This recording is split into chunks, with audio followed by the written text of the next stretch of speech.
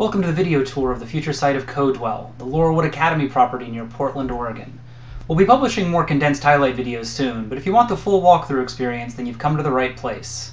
This first video will take us through the buildings we expect to be using in the first days and months of the project, and later videos will cover the buildings in need of renovation or remediation for future use, as well as the outdoor spaces and amenities that we couldn't shoot on this visit due to the weather.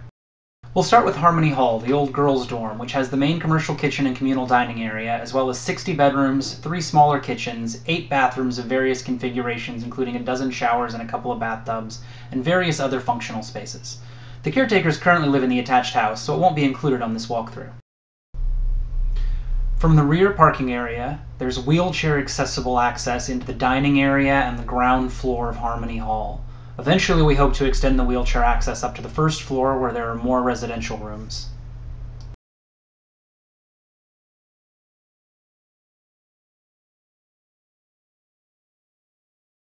This food service area lets the kitchen serve buffet style dishes so the people in the dining area can then serve themselves.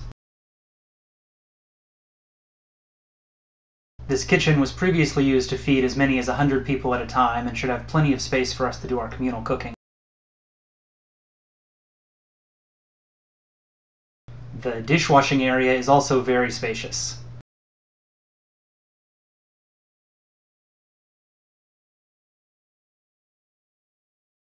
This is the walk-in refrigerator, which should more than serve our needs. I'll be fast forwarding a little bit through some of the longer, slower segments of the video.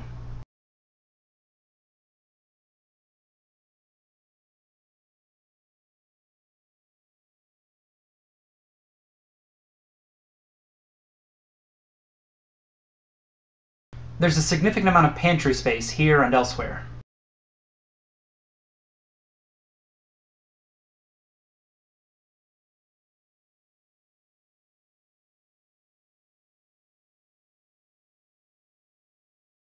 The fire suppression system in this building has extra pumps to increase the pressure from the cistern up the hill.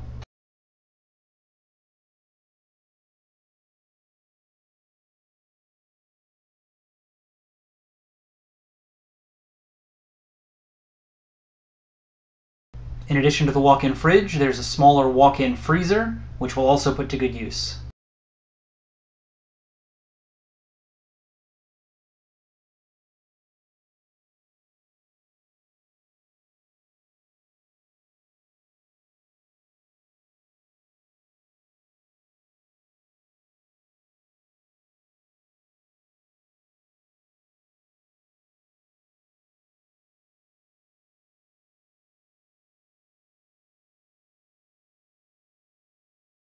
We eventually expect to be serving 60 or more people in this dining room at once, but even during COVID 19 concerns, we could still have socially distanced dining with dozens of folks with proper ventilation.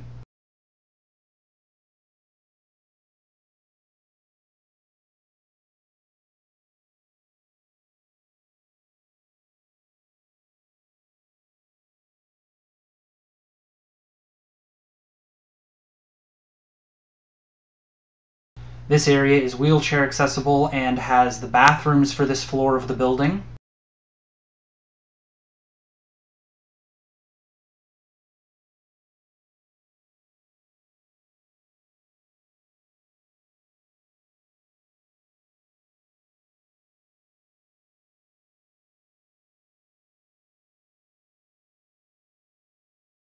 This floor also has the main laundry area for the building.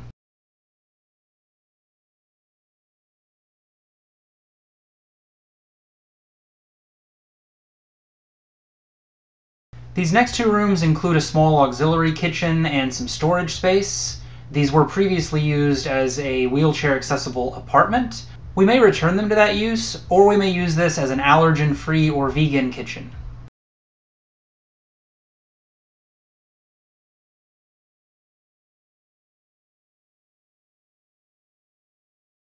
From here we'll proceed upstairs this small hallway connects to the house that we're not going to get to see on this tour. Then we'll go to the three floors of dorm rooms.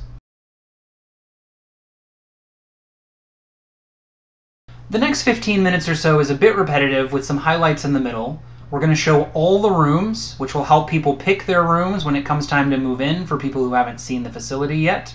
It's also going to help us draw a more accurate floor plan because the records we have now are decades out of date. If you do decide to fast forward, watch out for the bathrooms, lobbies, apartments and adjoined rooms, and the additional kitchens upstairs.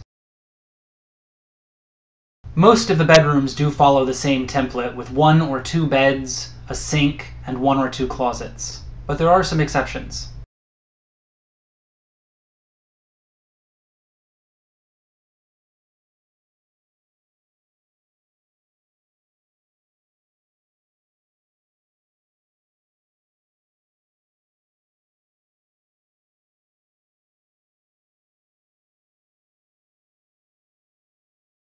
This is one of the few rooms with its own full bath.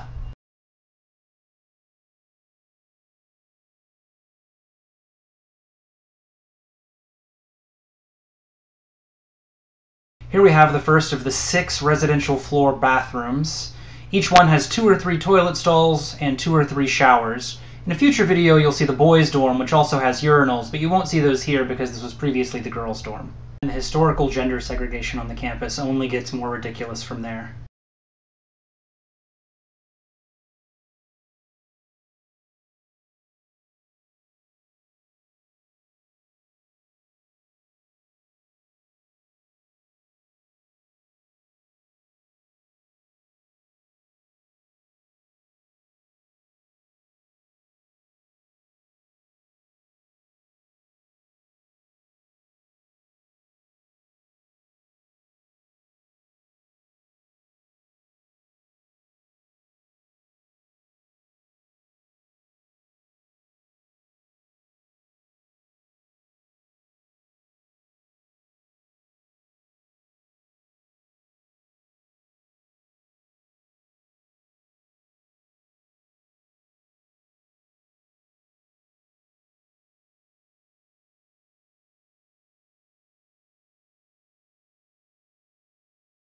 In addition to the stairwells at either end of the building, there's also a larger central stairwell which gives access to this lobby and a smaller one on the next floor.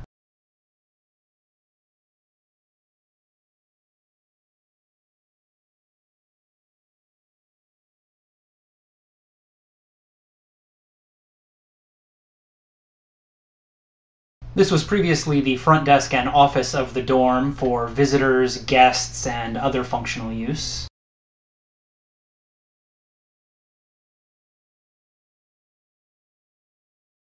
This room was the gift shop on our previous visit, but it's been packed up since then.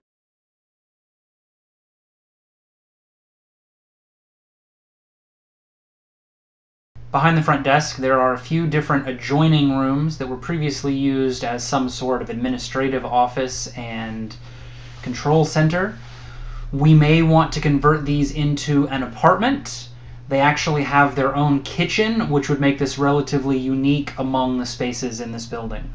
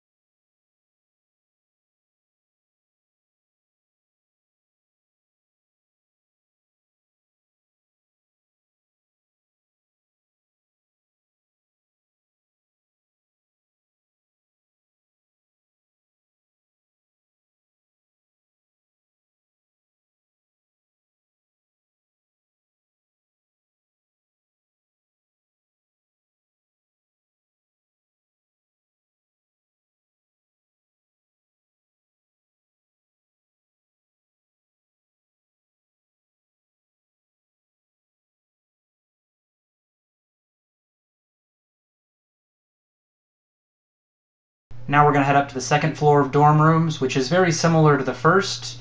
Major difference is the lobby and the office, but there are some minor differences as well.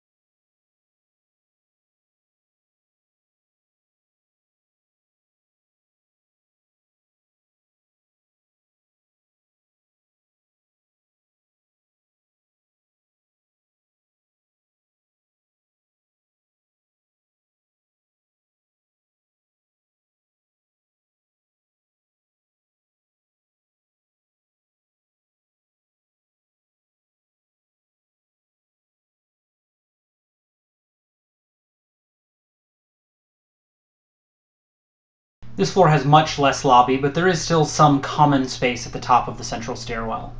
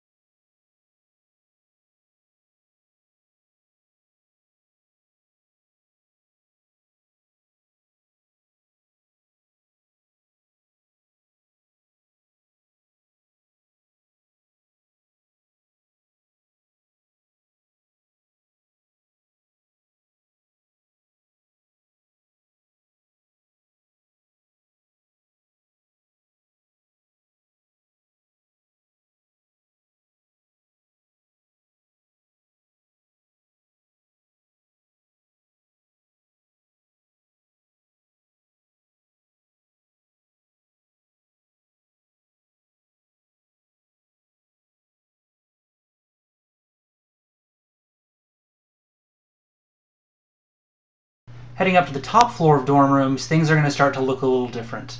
The building's only half as wide, so there's only half as many rooms. Also, there's some extra kitchens up here and different shaped bedrooms.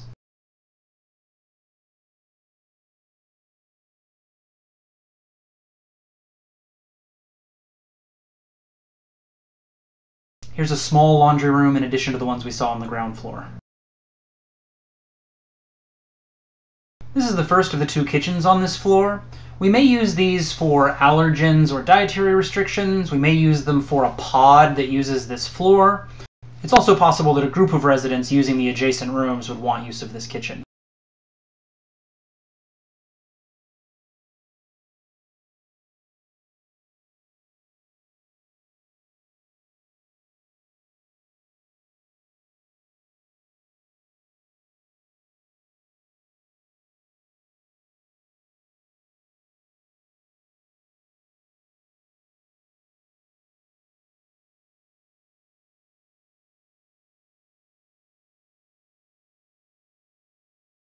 This is the very top of the central stairwell that went through the lobbies on the lower floors.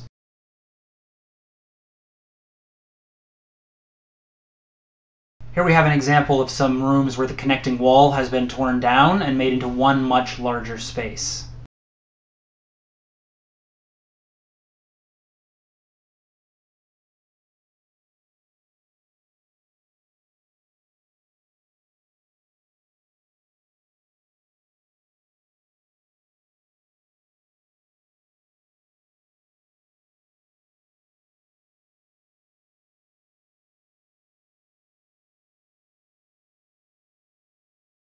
This bathroom and the upcoming laundry room and kitchen are somewhat the mirror image of the ones we saw earlier on this floor.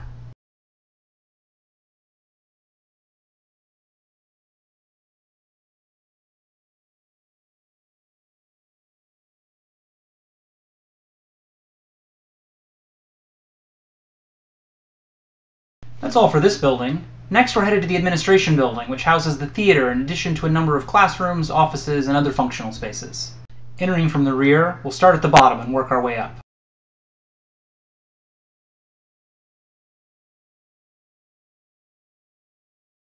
Both floors have multiple of these large open spaces. Each one's about 20 by 30 feet with a large amount of natural light from the front or rear of the building. They each also have one or two adjoining office or storage spaces. These are where we'll have the majority of our events and activities that don't require a classroom. There was actually a second one of those large rooms that we just missed on the left.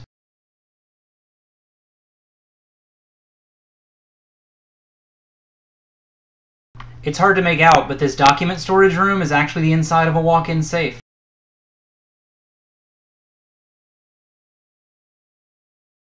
This was the mail sorting room with each of those small mailboxes accessible from the far side of the wall. And there are those mailboxes. This is the front entrance of the building, which is where visitors will be coming from the front parking when they arrive on site if they're not headed for one of the residential buildings.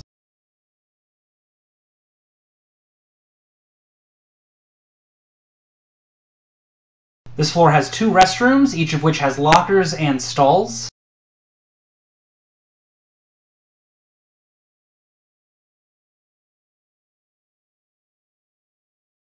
The second locker room and restroom is very similar to the first.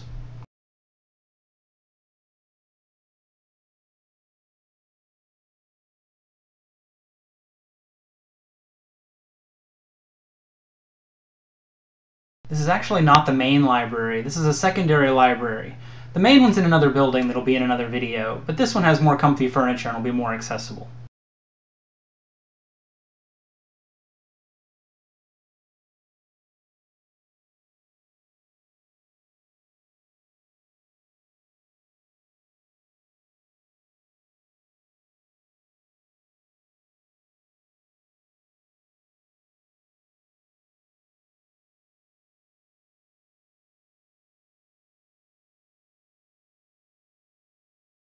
The previous use of the property was as a spiritual retreat. Although we'll be purchasing many of the furnishings and other items from other spaces, the items in this room are likely more meaningful to them and will go with them.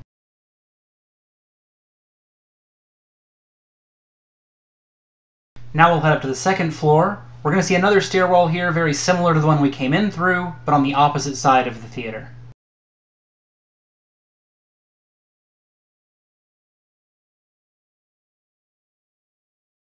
This floor has more of the large open rooms. This particular one was set up for band practice, although we may change that or even set up other rooms in the same way.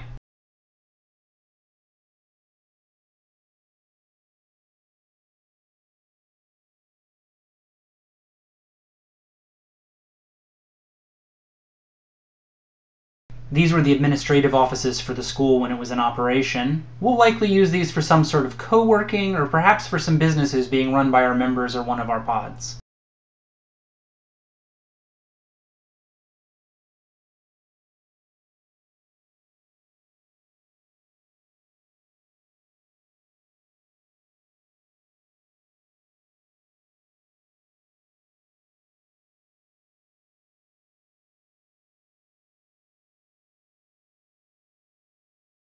Although our cameraman didn't walk through all of them, there's a small maze of 10 interconnected offices here that could also be used for co-working or on-site businesses.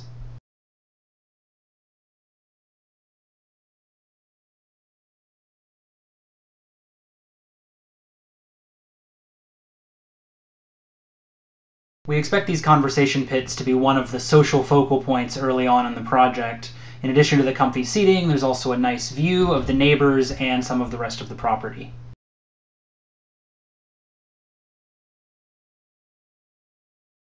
In addition to the comfy seating, this space also has the nicest piano on the property.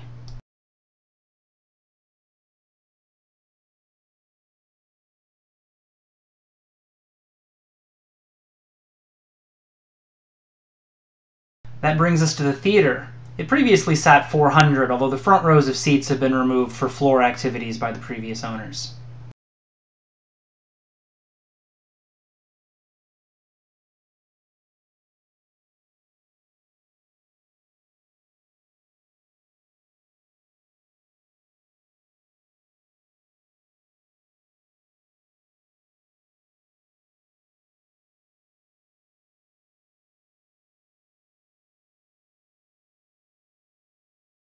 We'll see the rest of this floor before heading further upstairs.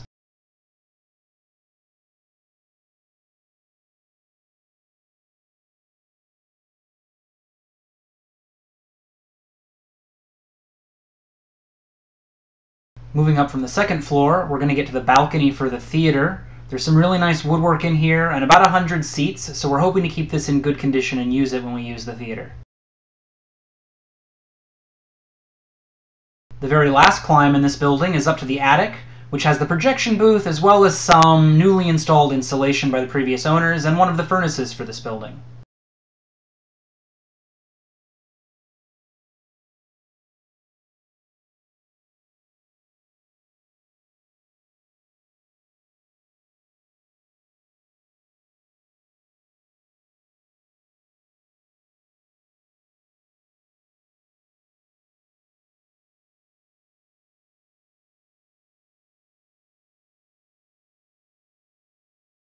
Next up is the gymnasium and some additional functional space in the same building.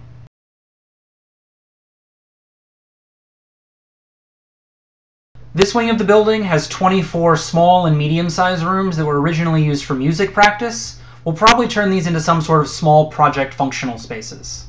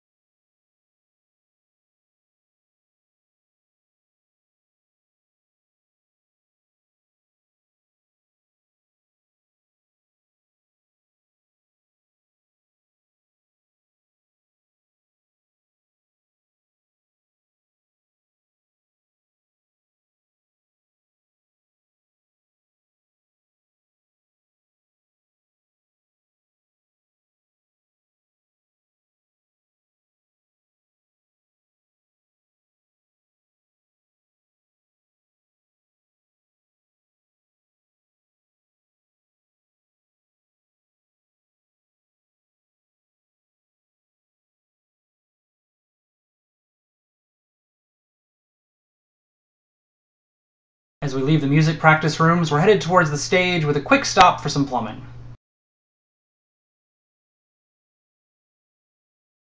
The main stage in the gymnasium is about 30 by 90 feet, has multiple rows of curtains as well as controls for the lights, and rooms full of pianos, organs, and other such instruments. The main gym floor is in pretty good shape for all the uses we're going to put it to, there's a little bit of dust, some scratches, and some water damage in one of the corners, so it's unlikely we'll need that space since we're probably not going to have two concurrent games of basketball going.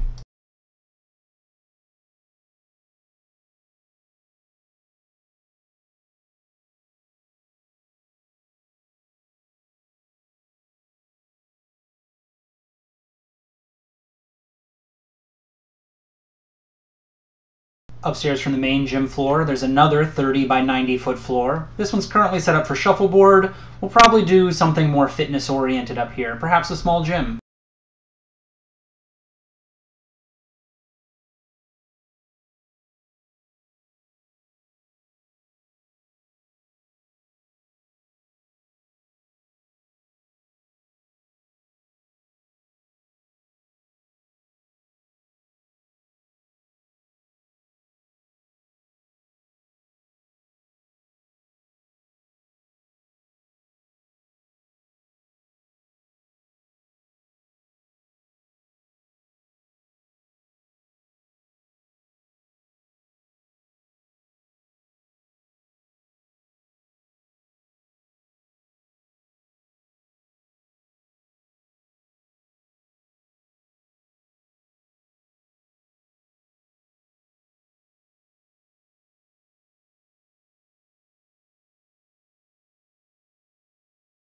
Below the balcony are the offices for the gymnasium as well as the locker rooms.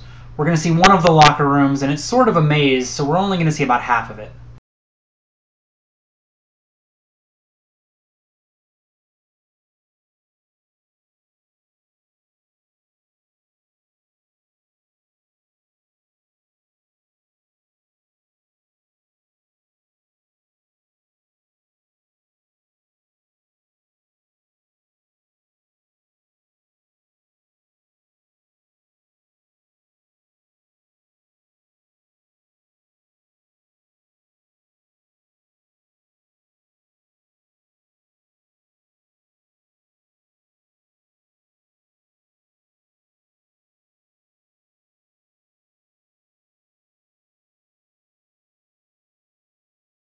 This is where the roller skates were stored back when kids would use the gymnasium as a roller skating rink.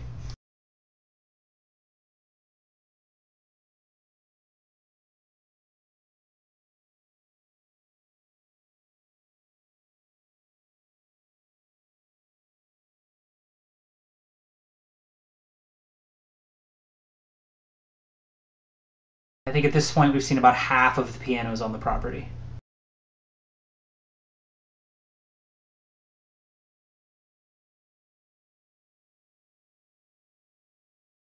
This room was used for band practice, and we don't really have a plan for it yet. It's another contender to be the fitness space or gym or exercise room.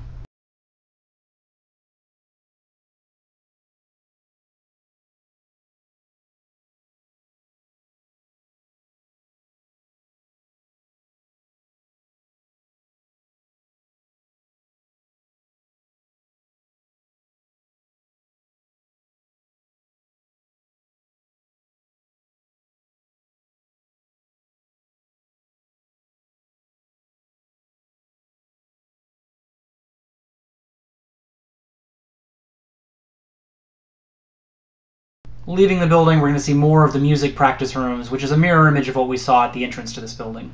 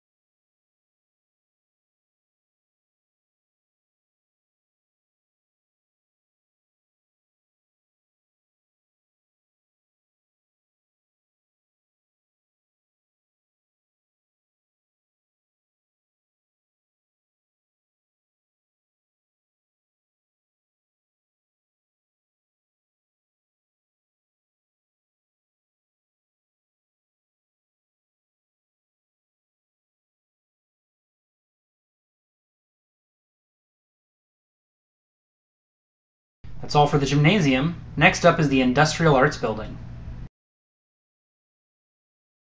On the way in, we'll pass some restrooms that are out of service, but actually functional. The middle of this building has four classrooms all about this size. The first large space we're going to get to see, which will take a moment, is the auto shop, which has five garage doors and two lifts.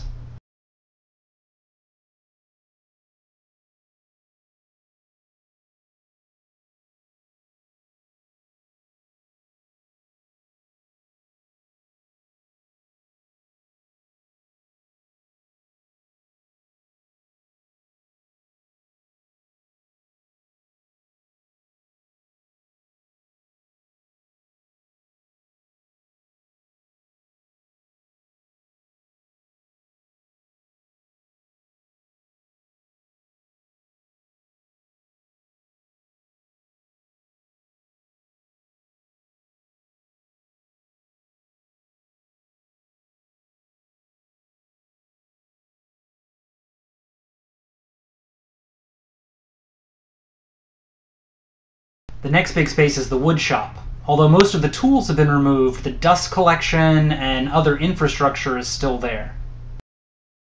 At this corner of the building is the paint room. It's hard to see, but this whole room has ventilation in the floor for pulling fumes down and its own roll-up door for pulling vehicles in.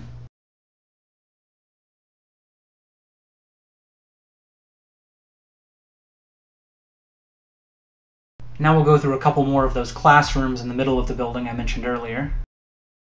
It's likely that one of these rooms will get turned into a high-tech fabrication shop and the other one into a machining shop.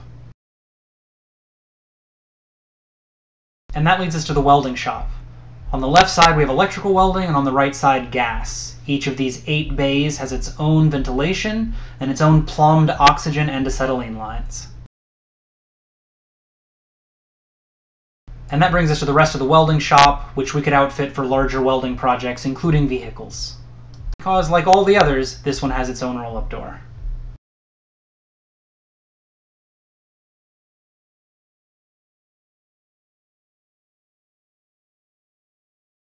We didn't quite go far enough, but hiding back in one of these hallways is also a dark room.